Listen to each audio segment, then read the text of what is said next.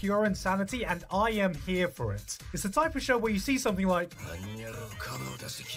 and you're like, oh, okay, that must be some anime slang name for a special strike squad they have or something. Okay. It was actually just fucking hippos. You see policemen riding iguanas, gun-toting hippos engage in a chase sequence with that fucking crab dance crab. There's a guy who shoots arrows that spawns mushrooms that takes down a gunplane controlled by a slug. The show follows this crazy internal logic. If you dream it, you can probably see it here, but for some reason it works. There's a sense of coherency behind all the madness. I have absolutely no idea what to expect going forward with this series, but you can bet your ass I'm gonna be strapped in on the ride.